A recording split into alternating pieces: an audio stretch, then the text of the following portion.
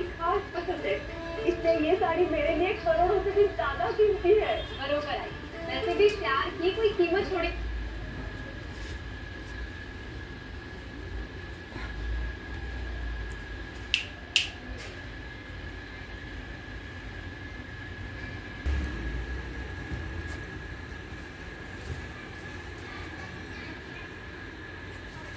photo